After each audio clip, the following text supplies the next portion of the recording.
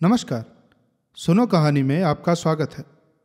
कहानी के पिछले भाग में हमने जाना कि चंदर डॉक्टर शुक्ला के साथ कॉन्फ्रेंस के लिए लखनऊ जाता है और सुधा घर पर अकेले महाराजन के साथ रुकती है, जहाँ वो चंदर और डॉक्टर शुक्ला का एक भी खत ना आने पर बहुत उदास हो जाती है और खाना पीना सब छोड़ देती है। तभी उसी दौरान उसकी मुलाकात पम्मी से होती है, जो कि डॉक्टर शुक्ला से मिलने उनके घर आई थी। उनके बीच चंदर को लेकर काफ़ी बातें होती हैं। जो कि हमने पिछले भाग में सुनी। अब आगे। दूसरे दिन सुबह सुधा आँगन में बैठी हुई आलू छील रही थी और चंदर का इंतज़ार कर रही थी। उसी दिन रात को पापा आ गए थे और दूसरे दिन सुबह बुआ जी और बिनती। सुधी, किसी ने इतने प्यार से पुकारा कि हवाओं में रस भर गया। अच्छा आ गए चंदर। सुधा आलू छोड़कर उठ बैठी। क्या लाए हमारे लिए लखनऊ से? बहुत कुछ सुधा। के है सुधा? सहसा कमरे से कोई बोला, चंदर है। सुधा ने कहा, चंदर, बुआ आ गई। और कमरे से बुआ जी बाहर आई। प्रणाम बुआ जी। चंदर बोला और पैर छूने के लिए झुका। हाँ हाँ हाँ। बुआ जी तीन कदम पीछे हट गई। देखता ना, हम पूजक धोती पहने हैं। ई के है सुधा? सुधा ने बुआ की बात का कुछ जवाब नहीं दिया। चंदर, चलो अपने कमरे में। यहाँ बुआ पूजा करेंगी। चंदर अलग हटा। बुआ ने हाथ के पंच पात्र से वहीं पानी छिड़का और ज़मीन फूकने लगी। सुधा, बिनती को भेज दो बुआ जी ने धूपदानी में महाराजिन से कोयला लेते हुए कहा। सुधा अपने कमरे में पहुंचकर चंदर को खाट पर बिठाकर नीचे बैठ गई। अरे, ऊपर बैठो। नहीं, हम यहीं ठीक है। कहकर वह बैठ गई और चंदर की पैंट पर पेंसिल से लकीरें खींचने लगी। अरे अरे, ये क्या कर रही हो? चंदर ने पैर उठाते हुए कहा तो तुमने इतने दिन क्यों लगा दिए? सुधा ने दूसरे पांचे पर पेंसिल लगाते हुए कहा, अरे, बड़ी आफत में फंस गए थे सुधा। लखनऊ से हम लोग गए बरेली, वहाँ एक उत्सव में हम लोग भी गए और एक मिनिस्टर भी पहुँचे। कुछ सोशलिस्ट, कम्युनिस्ट और मजदूरों ने विरोध प्रदर्शन किया। फिर तो पुलिस वालों और मजदूरों में जमकर लड़ाई हुई। वह तो कहो एक बेचारा सोशलिस्ट लड़का था, कैलाश मिश्रा। उसने हम लोगों की जान बचाई, वरना पापा और हम दोनों ही अस्पताल में होते। अच्छा पापा ने हमें कुछ बताया नहीं? सुधा घबरा कर बोली और बड़ी देर तक बरेली उपद्रव और कैलाश मिश्रा की बातें करती रही। अरे, बाहर कौन गा रहा है? चंदर ने सहसा पूछा। बाहर कोई गाता हुआ आ रहा था। आंचल से क्यों बाँध लिया? मुझ परदेसी का प्यार, आंचल से क्यों बाँध लिया? मुझ परदेसी का प्यार। और चंदर को देखते ही उस लड़की ने चौंक कर कहा, अरे क्षण भर स्तब्ध और फिर शर्म से लाल होकर भागी बाहर। अरे, भागती क्यों है? यही तो चंदर है। सुधा ने कहा लड़की बाहर रुक गई और गर्दन हिलाकर इशारे में कहा, मैं नहीं आऊँगी, मुझे शर्म लगती है। अरे चली आ, देखो हम अभी पकड़ लाते हैं। बड़ी झक्की है ये। कहकर सुधा उठी और वह फिर भागी। सुधा पीछे पीछे भागी। थोड़ी देर बाद सुधा अंदर आई तो सुधा के हाथ में उस लड़की की चोटी और वह बेचारी बुरी तरह अस्त व्यस्त थी। दांत से अपने आंचल का छोर दबाए हुई थी। बाल की तीन चार लटे मुँह पर झुक रही थी और लाज के मारे सिमटी जा रही थी। और आँखें थी कि मुस्काए या रोए यह तय ही नहीं कर पा रही थी। देखो चंदर, देखो। सुधा हाँफ रही थी। यही है बिनती मुटकी कहीं की। इतनी मोटी है कि दम निकल गया हमारा। सुधा बुरी तरह हाँफ रही थी। चंदर ने देखा, बेचारी की बुरी हालत थी। मोटी तो बहुत नहीं थी, पर हाँ गाँव की तंदुरुस्ती थी। लाल चेहरा। जिसे शर्म ने तो दूना बना दिया था। एक हाथ से अपनी चोटी पकड़े थी, दूसरे से अपने कपड़े ठीक कर रही थी और दांत से आंचल पकड़े हुए थी। छोड़ दो उसे। ये क्या है सुधा? बड़ी जंगली हो तुम। चंदर ने डांट कर कहा, जंगली मैं हूँ या ये? चोटी छोड़कर सुधा बोली, ये देखो, दांत काट लिया है इसने। सचमुच सुधा के कंधे पर दांत के निशान बने हुए थे। चंदर इस संभावना पर बेतहाशा हंसने लगा कि इतनी बड़ी लड़की दांत काट सकती है। क्यों जी? इतनी बड़ी हो गई हो और दांत काटती हो? उसकी हँसी रुक नहीं रही थी। सचमुच ये तो बड़े मज़े की लड़की है। बिनती है इसका नाम। क्यों रे? महुआ बिनती थी क्या वहाँ, जो बुआ जी ने बिनती नाम रखा है? वह पल्ला ठीक से ओढ़ चुकी थी। बोली, नमस्ते। चंदर और सुधा दोनों हंस पड़ी। अब इतनी देर बाद याद आई, चंदर और भी हंसने लगा। बिनती ए बिनती बुआ की आवाज़ आई। बिनती ने सुधा की ओर देखा और चली गई। और कहो सुधी, चंदर बोला, क्या हाल चाल रहा यहाँ? फिर भी एक चिट्ठी भी तो नहीं लिखी तुमने? सुधा बड़ी शिकायत के स्वर में बोली, हमें रोज रुलाई आती थी और तुम्हारी वो आई थी। हमारी वो? चंदर ने चौंक कर पूछा, अरे हाँ तुम्हारी पम्मी रानी। अच्छा वो आई थी। क्या बात हुई? कुछ नहीं, तुम्हारी तस्वीर देख देख कर रो रही थी। सुधा ने उंगलियाँ नचाते हुए कहा, मेरी तस्वीर देखकर अच्छा और थी कहा मेरी तस्वीर? अब तुम तो बहस करने लगे। हम कोई वकील हैं, तुम कोई नई बात बताओ, सुधा बोली। हम तो तुम्हें बहुत बहुत बात बताएँगे। पूरी कहानी है, इतने में बिनती आई। उसके हाथ में एक तस्तरी थी और एक गिलास। तस्तरी में कुछ मिठाई थी और गिलास में शरबत। उसने लाकर तस्तरी चंदर के सामने रख दी। ना भाई, हम नहीं खाएँगे। चंदर ने इनकार किया। बिनती ने सुधा की ओर देखा। खा लो, लगे नखरा करने। लखनऊ से आ रहे हैं ना? तकल्लुफ न करें तो मालूम कैसे हो? सुधा ने मुँह चिढ़ाते हुए कहा। चंदर मुस्कुराकर खाने लगा। दीदी के कहने पर खाने लगे आप?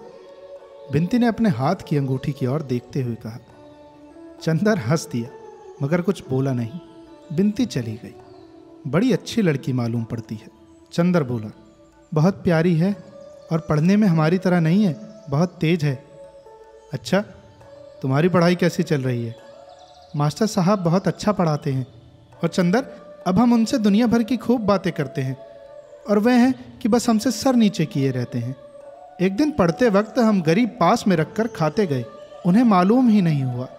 उनसे कविता तो सुनवा दो एक दिन। सुधा बोली, चंदर ने कुछ जवाब नहीं दिया और डॉक्टर साहब के कमरे में जाकर किताबें उलटने लगा। इतने में बुआ जी का तेज स्वर आया, हमें मालूम होता कि मुँह झोसी हमके ऐसी नाक चढ़ाइए तो हम पैदा होते गला घोट दे अरे राम आकाश सिर पर उठाए है। कई घंटे से निर्यात निर्यात गटाई फट गई। ये बोलत नहीं जैसे सांप सूख गया हो। प्रोफेसर शुक्ला के घर में वह नया सांस्कृतिक तत्व था। कितनी शालीनता और शिष्टता से वह रहते थे। कभी इस तरह की भाषा भी उनके घर में सुनने को मिलेगी, इसकी चंदर को जरा भी उम्मीद न थी। चंदर चौंक कर उधर देखने लगा। डॉक्टर शुक्ला समझ गए। कुछ लज्जित से और मुस्कुराकर ग्लानी छिपाते हुए से बोले मेरी विधवा बहन है। कल गाँव से आई है लड़की को पहुँचाने। उसके बाद कुछ पटकने का स्वर आया, शायद किसी बर्तन की। इतने में सुधा आई, गुस्से से लाल। सुना पापा तुमने? बुआ बिनती को मार डालेंगी। क्या हुआ आखिर? डॉक्टर शुक्ला ने पूछा। कुछ नहीं बिनती ने पूजा का पंचपात्र उठाकर ठाकुर जी के सिंहासन के पीछे रख दिया था। उन्हें दिखाई नहीं पड़ा तो गुस्सा बिनती पर उतार रही हैं। इतने में फिर उनकी आवाज़ आई। पैदा करत बखत बहुत अच्छा लाग रहा। पालत बखत तय बोल गए मर गए रहो तो आपन संतानों अपने साथ ले जातो। हमारे मुँह पर यह हत्या कहाँ डाल गए? ऐसी कुलच्छनी है कि पैदा होता ही बाप को खा गई। सुना पापा तुमने? चलो हम चलते हैं। डॉक्टर शुक्ला ने कहा, सुधा वहीं रह गई। चंदर से बोली, ऐसा बुरा स्वभाव है बुआ का कि बस, बिनती ऐसी है कि इतना बर्दाश्त कर लेती है। बुआ ने ठाकुर जी का सिंहासन साफ़ करते हुए कहा, रोवत कहाँ हो? कौन तुम्हारे माई बाप को गरियावा है कि असुआ ढरकाए रही हो? ये सब चौचला अपने और को दिखाए जाके। दो महीना और है, अब इनसे उधियाई न जाओ। अब अभद्रता सीमा पार कर चुकी थी। बिनती चलो, कमरे के अंदर हटो सामने से। डॉक्टर शुक्ला ने डांट कर कहा, अबे चरखा बंद होगा या नहीं? कुछ शर्म हया है या नहीं तुम में? बिनती सिसकते हुए अंदर गई। स्टडी रूम में देखा कि चंदर है तो उल्टे पाँव लौट आई सुधा के कमरे में और फूट फूट कर रोने लगी। डॉक्टर शुक्ला लौट आए। अब हम ये सब करें कि अपना काम करें। कल से घर में महाभारत मचा रखा है। कब जाएँगी ये सुधा? कल जाएँगी। पापा, अब बिनती को कभी मत भेजना इनके पास। सुधा ने गुस्से भरे स्वर में कहा अच्छा जाओ, हमारा खाना परसो। चंदर तुम अपना काम यहाँ करो। यहाँ शोर ज़्यादा हो तो तुम लाइब्रेरी में चले जाना। आज भर की तकलीफ़ है। चंदर ने अपनी कुछ किताबें उठाई और उसने चला जाना ही ठीक समझा। सुधा खाना पर उसने चली गई। बिनती रो रो कर और तकिए पर सिर पटक कर अपनी कुंठा और दुख उतार रही थी। बुआ घंटी बजा रही थी, मगर दबी जबान जाने क्या बकती जा रही थी। यह घंटी के भक्ति भावना भरे मधुर स्वर में सुनाई नहीं देता था। लेकिन बुआ जी दूसरे दिन गई नहीं। जब तीन चार दिन बाद चंदर गया तो देखा बाहर के सहन में डॉक्टर शुक्ला बैठे हुए हैं और दरवाज़ा पकड़कर बुआ जी खड़ी बातें कर रही हैं। लेकिन इस वक्त बुआ जी काफ़ी गंभीर थी और किसी विषय पर निमंत्रणा कर रही थी। चंदर के पास पहुँचने पर वह फ़ौरन चुप हो गई और चंदर की ओर सशंकित नेत्रों से देखने लगी। डॉक्टर शुक्ला बोले, आओ चंदर, बैठो। चंदर बगल की कुर्सी पर खींच कर बैठ गया तो डॉक्टर साहब बुआ जी से बोले हाँ हाँ बात करो। अरे, ये तो घर के आदमी हैं। इनके बारे में सुधा ने नहीं बताया तुम्हें? ये चंदर हैं, हमारे शिष्य। बहुत अच्छा लड़का है। अच्छा अच्छा भैया, बैठो। तू तो एक दिन और आए रहो। बीए में पढ़ा था सुधा के संग। नहीं बुआ जी, मैं रिसर्च कर रहा हूँ। वाह, बहुत खुशी हुई भाई तो को देख के। हाँ तो सुकुल वह अपने भाई से बोली, फिर यही ठीक हो बिनती का ब्याह टाल दो और अगर ये लड़कियाँ ठीक हो जाए तो सुधा का ब्याह आषाढ़ भर में निपटाई दो। अब अच्छा ना लागत। थू ठेस बिटिया सुनी मांग लिए, छरछरावा करते है रोहर बुआ बोली हाँ तो ये ठीक है। डॉक्टर शुक्ला बोले, मैं खुद सुधा का ब्याह अब टालना नहीं चाहता।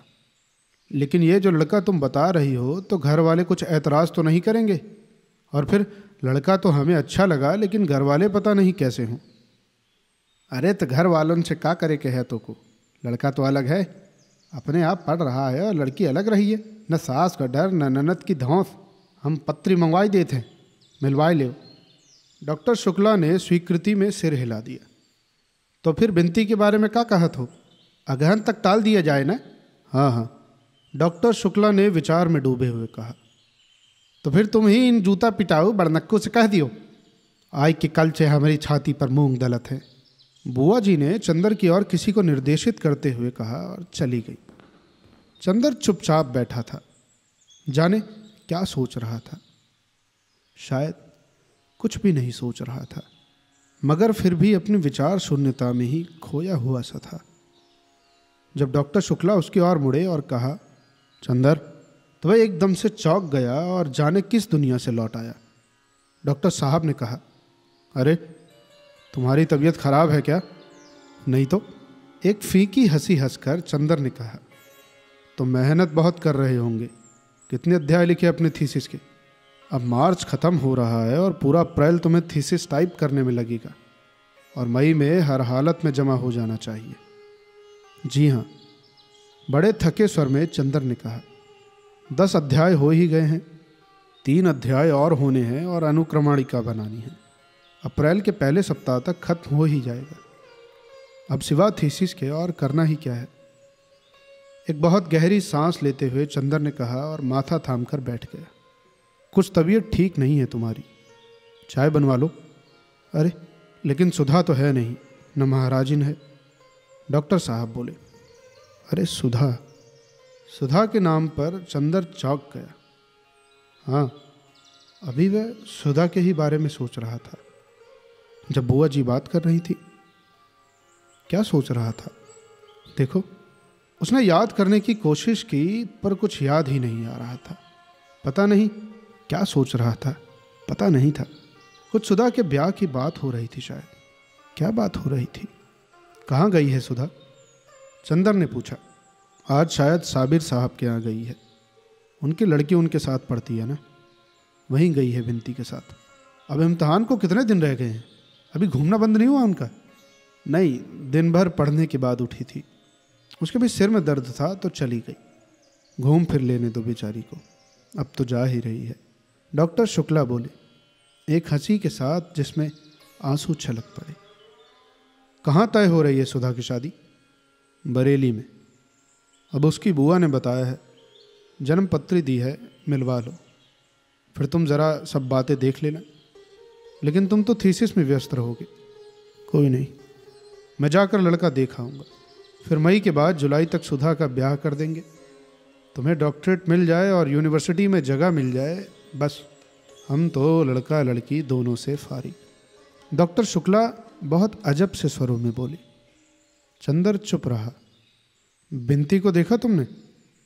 थोड़ी देर बाद डॉक्टर ने पूछा हाँ वही ना जिसको डांट रही थी उस दिन? हाँ वही, उसके ससुर आए हुए हैं। उनसे कहना है कि अब शादी अगहन पूछ के लिए टाल दे, पहले सुधा की हो जाए, वह बड़ी है और हम चाहते हैं कि बिनती को तब तक विदुषी का दूसरा खंड भी दिला दे। आओ, उनसे बात कर लें अभी। डॉक्टर शुक्ला उठे। चंद्र भी उठा और उसने अंदर जाकर बिनती के ससुर के दिव्य दर्शन प्राप्त किए। वह एक पलंग पर बैठे थे, लेकिन वह अभागा पलंग उनके उधर के ही लिए ना काफ़ी था।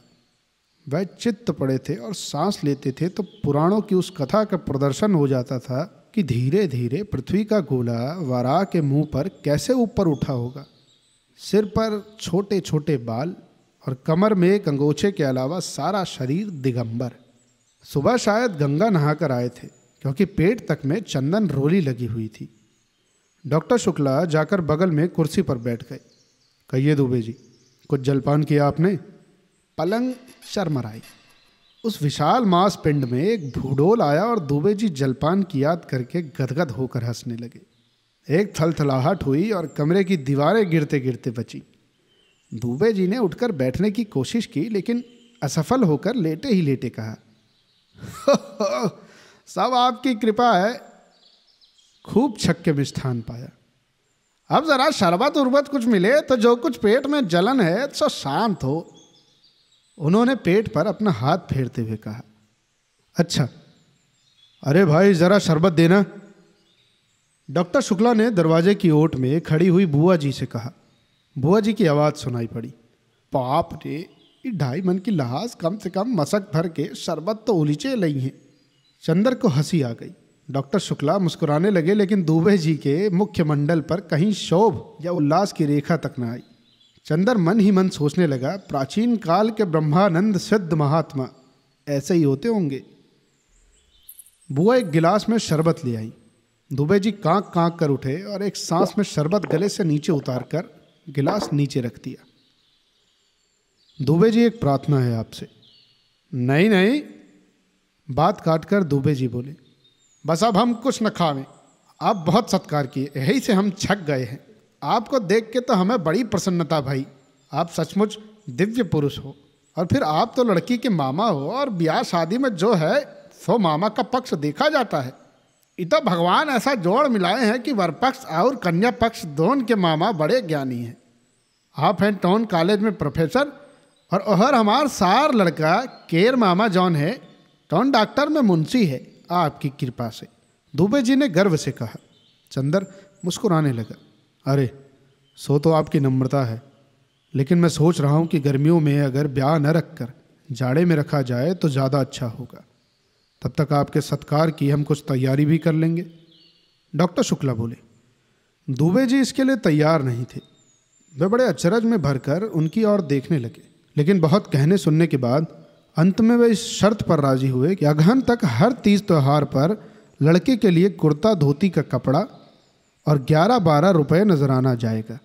और अगहन में अगर ब्याह हो रहा है तो सास ननद और जेठानी के लिए गर्म साड़ी जाएगी। और जब जब दुबे जी गंगा नहाने प्रयागराज आएँगे तो उनका रोचना एक थाल, कपड़े और एक स्वर्ण मंडित जौ से होगा।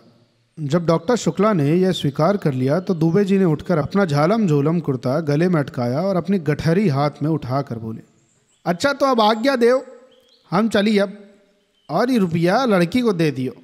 अब बात पक्की है। और अपनी पैंट से उन्होंने एक मुड़ा मुड़ाया, तेल लगा हुआ। पाँच रुपये का नोट निकाला और डॉक्टर साहब को दे दिया। चंदर एक तांगा कर दो, दुबे जी को। अच्छा आओ, हम भी चलें। जब ये लोग लौटे तो बुआ जी एक थैली से कुछ धर निकाल रही थी। डॉक्टर शुक्ला ने नोट बुआ जी को देते हुए कहा, लो, ये दे गए हैं तुम्हारे समझी जी लड़की को। पाँच का नोट देखा तो बुआ जी सुलग उठी। न गहना, न गुड़िया ब्याह पक्का कर गए हैं कागज़ के टुकड़े से।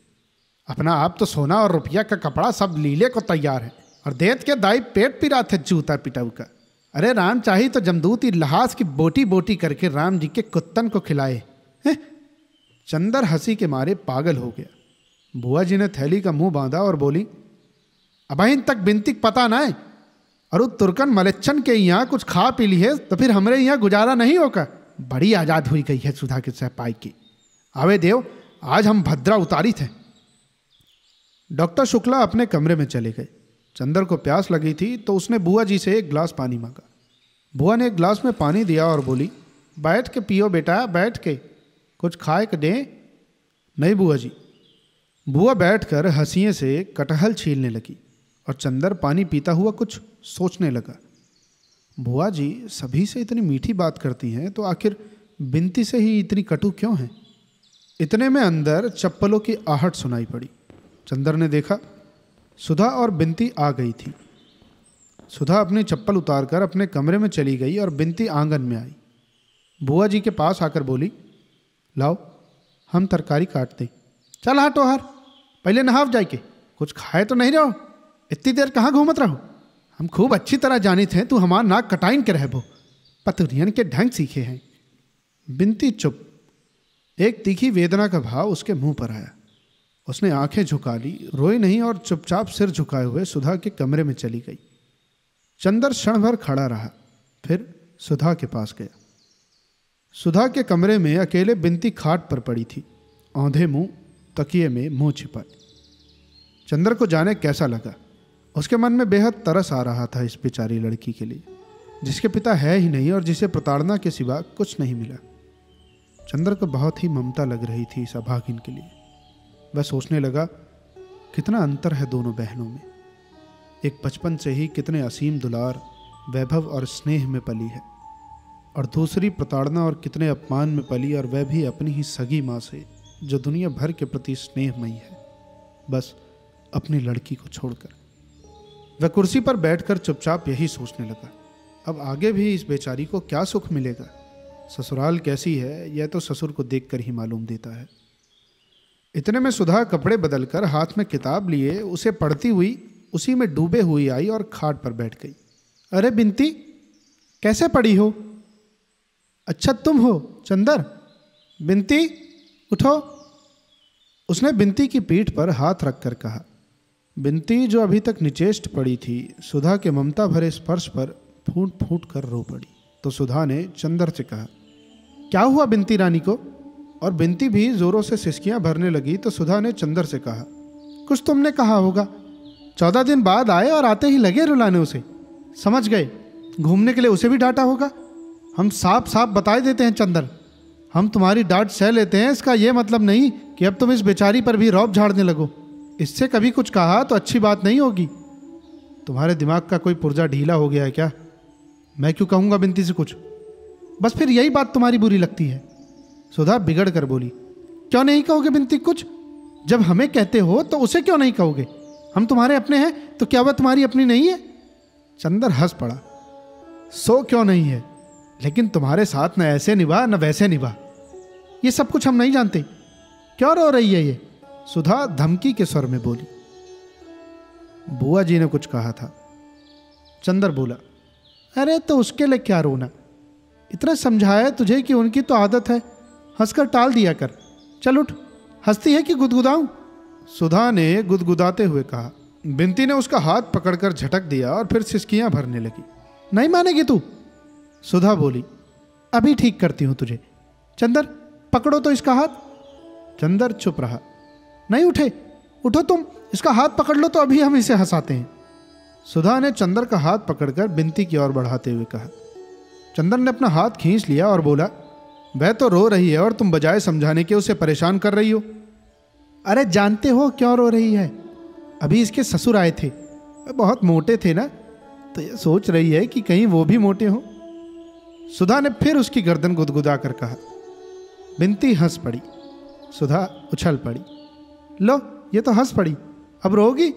अब फिर सुधा ने गुदगुदाना शुरू किया। बिनती पहले तो हँसी से लौट गई, फिर पल्ला संभालते हुए बोली, छी दीदी, वो बैठे हैं कि नहीं? और उठकर बाहर जाने लगी। कहाँ चली? सुधा ने पूछा, नहाने जा रही हूँ। बिनती पल्ले से सिर ढकते हुए चल दी। क्यों?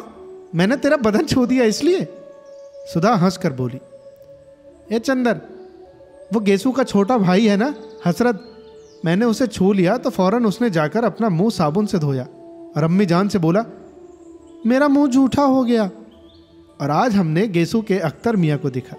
बड़े मज़े के हैं। मैं तो गेसू से बात करती रही, लेकिन बिनती और फूल ने बहुत छेड़ा उन्हें। बेचारे घबरा गए। फूल बहुत चुलबुली है और बड़ी नाजुक है, बड़ी बोलने वाली है। और बिनती और फूल का खूब जोड़ मिला। दोनों खूब गाती हैं। बिनती गाती भी है। हमने तो रोते ही देखा है। अरे, बहुत अच्छा गाती है। इसने एक गाँव का गाना बहुत अच्छा गाया था। अरे, देखो, ये सब बताने में हम तुम पर गुस्सा होना तो भूल ही गए। कहाँ रहे चार रोज? बोलो। बताओ जल्दी से। व्यस्त थे सुधा। सुधा बोली, दूध आजकल पीते हो कि नहीं? हाँ हाँ तीन गाय खरीद ली हैं। चंदर बोला, नहीं, मज़ाक नहीं, कुछ खाते पीते रहना। कहीं तबीयत खराब हुई तो अब हमारा इम्तहान है। पड़े पड़े मक्खी मारोगे और अब हम देखने भी नहीं आ सकेंगे। अब कितना कोर्स बाकी है तुम्हारा? कोर्स तो खत्म था हमारा। कुछ कठिनाइयाँ थी, सो पिछले दो तीन हफ़्ते में मास्टर साहब ने बता दी थी। अब दोहराना है। लेकिन बिनती का इम्तहान मई में है। उसे भी तो पढ़ाना है। अच्छा अब चले हम। अरे, बैठो। फिर जाने कै दिन बाद आओगे। आज बुआ तो चली जाएँगी, फिर कल से यहीं पढ़ो। तुमने बिनती के ससुर को देखा था? हाँ देखा था। चंदर उनकी रूपरेखा याद करके हंस पड़ा। बाप रे, पूरे टैंक थे वे तो। बिनती की ननद से तुम्हारा ब्याह करवा दे। करोगे? सुधा बोली, लड़की इतनी मोटी है उसे कभी डांट लेना तो देखेंगे तुम्हारी हिम्मत। ब्याह एकदम से चंदर को याद आ गया। अभी बुआ ने बात की थी सुधा के ब्याह की। तब उसे कैसा लगा था? कैसा लगा था? उसका दिमाग घूम गया था। लगा जैसे एक असहनीय दर्द था या फिर जाने क्या था जो उसकी नस नस को तोड़ गया। एकदम। क्या हुआ चंदर? अरे चुप क्यों हो गए डर गए मोटी लड़की के नाम से। सुधा ने चंदर का कंधा पकड़कर झकझोरते हुए कहा, चंदर एक फीकी हँसी हंस कर रह गया और चुपचाप सुधा की ओर देखने लगा। सुधा चंदर की निगाह से सहम गई। चंदर की निगाह में जाने क्या था? एक अजब सा पथराया सोनापन। एक जाने किस दर्द की अमंगल छाया। एक जाने किस पीड़ा की मुँह का आवाज़। एक जाने कैसी पिघलती हुई सी उदासी और वह भी गहरी। जाने कितनी गहरी। और चंदर था कि एक टक देखता जा रहा था। एक टक अपलक। सुधा को जाने कैसा लगा? ये अपना चंदर तो नहीं। ये तो अपने चंदर की निगाह नहीं है। चंदर तो ऐसी निगाह से इस तरह अपलक तो सुधा को कभी नहीं देखता था। नहीं ये चंदर की निगाह तो नहीं। इस निगाह में न शरारत है, न डांट, न दुलार और न करुणा। इसमें कुछ ऐसा है जिससे सुधा बिल्कुल परिचित नहीं, जो आज चंदर में पहली बार दिखाई पड़ रहा है। सुधा को जैसे डर लगने लगा, जैसे वह काँप उठी। नहीं, यह कोई दूसरा चंदर है जो उसे इस तरह देख रहा है। यह कोई अपरिचित है, कोई अजनबी।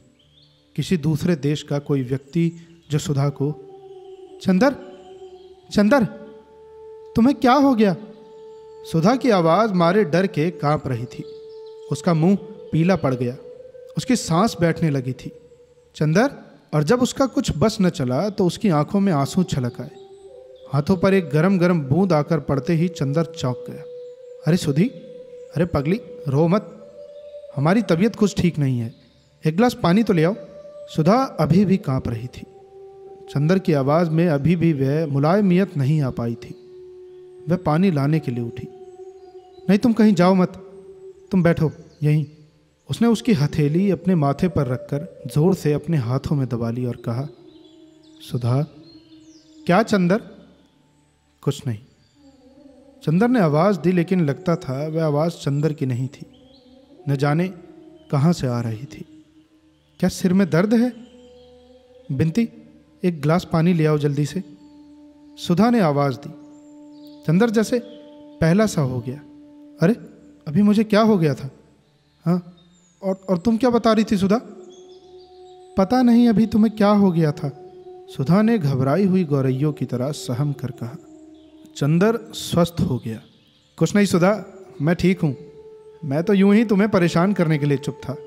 उसने हंस कर कहा हाँ चलो, रहने दो। तुम्हारे सिर में दर्द ज़रूर है। सुधा बोली, बिनती पानी लेकर आ गई थी। लो, पानी पियो।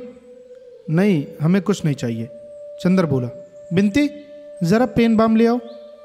सुधा ने गिलास ज़बरदस्ती उसके मुँह से लगाते हुए कहा, बिनती पेन बाम ले आई थी। बिनती, तू जरा लगा दे इनके। अरे, खड़ी क्यों है? कुर्सी के पीछे खड़ी होकर माथे पर जरा हल्की उंगली से लगा दे। बिनती आज्ञाकारी लड़की की तरह आगे बढ़ी, लेकिन फिर हिचक गई। किसी अजनबी लड़के के माथे पर कैसे पेन बाम लगा दे? चलती है या अभी काट के गाड़ देंगे यहीं, मुटकी कहीं की? खा खाकर मोटानी है, जरा सा काम नहीं होता। बिनती ने हार कर पेन बाम लगाया। चंदर ने उसका हाथ हटा दिया तो सुधा ने बिनती के हाथ से पेन बाम लेकर कहा, आओ हम लगा दें। बिनती पेन बाम देकर चली गई। सुधा ने हाथ बढ़ाया तो चंदर ने डांटा। सीधे से बैठो। सुधा चुपचाप बैठ गई तो चंदर बोला, अब बताओ, क्या बात कर रही थी? हाँ बिनती के ब्याह की ना? ये उनके ससुर तो बहुत ही भद्दे मालूम पड़ रहे थे। क्या देखकर ब्याह कर रही हो तुम लोग? पता नहीं क्या देखकर ब्याह कर रही हैं बुआ। असल में बुआ पता नहीं क्यों बिनती से इतनी चिढ़ती हैं। वह तो चाहती हैं किसी तरह से बोझ टले सिर से। लेकिन चंदर ये बिनती बड़ी खुश है। यह तो चाहती है किसी तरह जल्दी से ब्याह हो।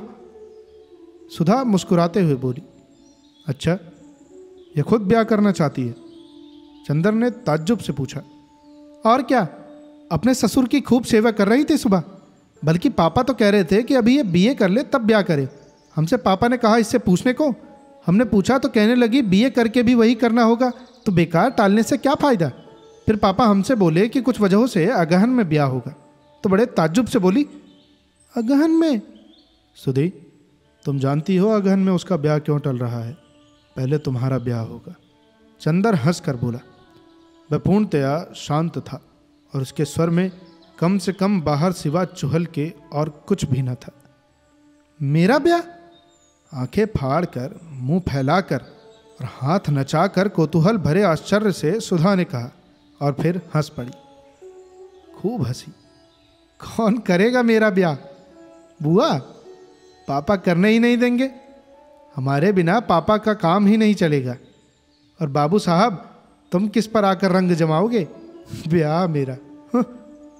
सुधा ने मुँह बिचकाकर उपेक्षा से कहा, नहीं सुधा, मैं गंभीरता से कह रहा हूँ। तीन चार महीने के अंदर तुम्हारा ब्याह हो जाएगा। चंदर उसे विश्वास दिलाते हुए बोला, अरे जाओ, सुधा ने हँसते हुए कहा ऐसे हम तुम्हारे बनाने में आ जाएँ तो हो चुका। अच्छा जाने दो। तुम्हारे पास कोई पोस्ट कार्ड है? लाओ ज़रा इस कॉमरेड को एक चिट्ठी तो लिख दे। चंदर बात बदल कर बोला, पता नहीं क्यों इस विषय की बात के चलने में उसे कैसा लगता था? कौन कॉमरेड सुधा ने पूछा, तुम भी कम्युनिस्ट हो गए क्या? नहीं जी, वो बरेली का सोशलिस्ट लड़का कैलाश जिसने झगड़े में हम लोगों की जान बचाई थी। हमने तुम्हें बताया नहीं था? सब किस्सा उस झगड़े का? जब हम और पापा बाहर गए थे। हाँ हाँ बताया था। उसे तो ज़रूर खत लिख दो। सुधा ने पोस्ट कार्ड देते हुए कहा, तुम्हें पता मालूम है? चंदर जब पोस्ट कार्ड लिख रहा था तो सुधा ने कहा, सुनो, उसे लिख देना कि पापा की सुधा, पापा की जान बचाने के एवज में आपकी बहुत कृतज्ञ है। और कभी अगर हो सके तो आप इलाहाबाद ज़रूर आए। लिख दिया? हाँ चंदर ने पोस्ट कार्ड जेब में रखते हुए कहा, चंदर हम भी सोशलिस्ट पार्टी के मेंबर होंगे। सुधा ने मचलते हुए कहा, चलो, अब तुम्हें नई सनक सवार हुई। तुम क्या समझ रही हो सोशलिस्ट पार्टी को? राजनीतिक पार्टी है वह। यह मत करना कि सोशलिस्ट पार्टी में जाओ और लौट कर आओ तो पापा से कहो। अरे, हम तो समझे पार्टी है, वहाँ चाय पीने को मिलेगी। वहाँ तो सब लोग लेक्चर देते हैं। दत्त, हम कोई बेवकूफ़ हैं क्या? सुधा ने बिगड़ कर कहा, नहीं, सौ तो तुम बुद्धि सागर हो। लेकिन लड़कियों की राजनीतिक बुद्धि कुछ ऐसी ही होती है। चंद्र बोला अच्छा रहने दो। लड़कियाँ ना हो तो काम ही न चले, सुधा ने कहा। अच्छा सुधा, आज कुछ रुपए दोगी? हमारे पास पैसे खत्म हैं और सिनेमा देखने जाना है जरा। चंदर ने बहुत दुलार से कहा हाँ हाँ ज़रूर देंगे तुम्हें मतलब ही कहेंगे सुधा बोली, अभी अभी तुम लड़कियों की बुराई कर रहे थे ना? तो तुम और लड़कियों में से थोड़ी हो। तुम तो हमारी सुधा हो। सुधा महान। सुधा पिघल गई। अच्छा कितना लोगे?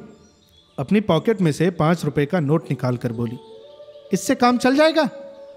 हाँ हाँ। आज ज़रा सोच रहे हैं पम्मी के यहाँ जाए। तब सेकंड शो जाए। पम्मी रानी के यहाँ जाओगे? समझ गए। तभी तुमने चाचा जी से ब्याह करने से इनकार कर दिया। लेकिन पम्मी तुमसे तीन साल बड़ी है। लोग क्या कहेंगे? सुधा ने छेड़ा। हाँ तो क्या हुआ जी? सब यूँ ही चलता है। चंदर हंसकर टाल गया। तो फिर खाना यहीं खाते जाओ और कार लेते जाओ। सुधा ने कहा, मंगाओ। चंदर ने पलंग पर पैर फैलाते हुए कहा, खाना आ गया। और जब तक चंदर खाता रहा, सुधा सामने बैठी रही और बिनती दौड़ दौड़ कर पूड़ी लाती रही। अब आगे की कहानी सुनने के लिए बने रहिए हमारे चैनल सुनो कहानी के साथ और कमेंट कीजिए उन किताबों के नाम जो आप सुनना चाहते हैं। मिलते हैं आपसे अगले भाग में।